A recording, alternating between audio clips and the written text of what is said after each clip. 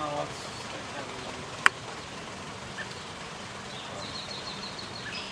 But there was one, yeah. that.